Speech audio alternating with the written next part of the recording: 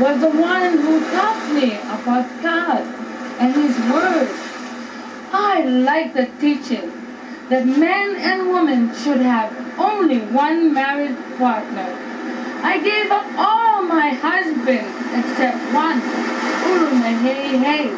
I gave up all my drinking habits and everything that did not please God. I learned to read and write, and in my life, help others to come to God as well. I wanted, I wanted my people to know God. How sad that the gospel of Jesus Christ did not reach us when we were Casey.